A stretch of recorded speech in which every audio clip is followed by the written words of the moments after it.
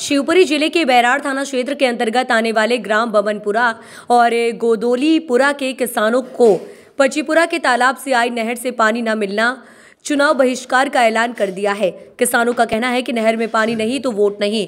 दोनों गाँवों के किसानों ने जानकारी देते हुए बताया कि उनके गाँव में पानी की काफ़ी किल्लत रहती है, जिससे फ़सल भी ठीक से नहीं होती है, जिसको लेकर सरकार द्वारा छह वर्ष पूर्व पच्चीपुरा के तालाब से नहर का निर्माण कराया गया था, जिसके निर्माण के बाद आज तक उस नहर में पानी नहीं छोड़ा गया, जिससे किसान परेशान बने हुए हैं।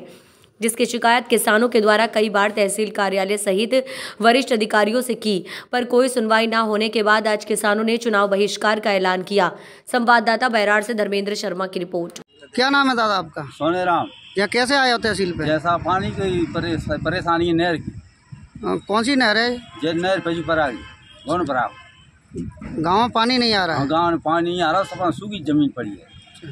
तो आप वो जहाँ तहसील पे नहीं है तो आप क्या करोगे? अब क्या करें अब क्या करें कोई सुनवाई नहीं करे हमारी। सुना को बस करेंगे। अच्छा चुनाव का बहिष्कार करोगे? हाँ क्या करेंगे कोई हमारे हमारे काम है हमारे साथ देंगे ताक ताक हम देंगे साथ। क्या नाम है दादा तुम्हारा? मेरा नाम करण सिंह है। क्या समस्या था? अरे खेत सूखे पड़े हैं। एक महीना से नहर निकली है यहाँ तक पानी नहीं आ रहा ना वो उसकी नहर की सफ़ाई हुई। और पाँच साल से ऐसे ही परेशान होते आ रहे हैं। पहले मंत्री जी से गई तो आज तक मंत्री जी भी नहीं जा जाके यहाँ पे। तो अब आप कोई नहीं सुन रहा है तो आप क्या करोगे आप? अब क्या करें बैठे हैं कोई नहीं सुन रहा तो हमारा मतलब ये है कि किसी पार्टी को वोट नहीं डालेंगे वो वोटन का बहिष्कार करेंगे। अच्छा वोटों का बहिष्कार कर रहे हो चुनाव हाँ बिल्कुल चुनाव का बहिष्कार करेंगे किसी पार्टी को वोट नहीं क्या नाम है आपका? नंद किशोर रावत है। जहाँ तहसील में कैसे आए थे? तहसील में आए थे नहर का आवेदन देने नहर नहीं मतलब हमारी समस्या है नहर में पानी नहीं आ रहा छः सात साल से। जब से बनी जब से नहीं आया।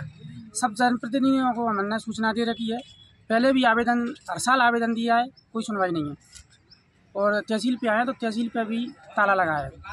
आवेदन देने आए थे तो अब क्या करोगे? कोई नहीं है तहसील? चुनाव का बहिष्कार करेंगे सब लोग हैं जी गाँव पूरा गाँव है हमारे साथ।